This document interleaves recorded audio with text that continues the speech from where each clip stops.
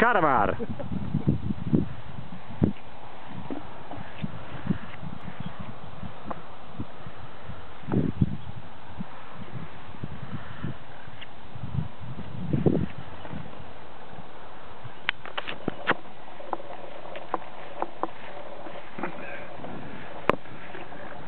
Dan moet je hem even laten staan in de lucht. Ja, kijk.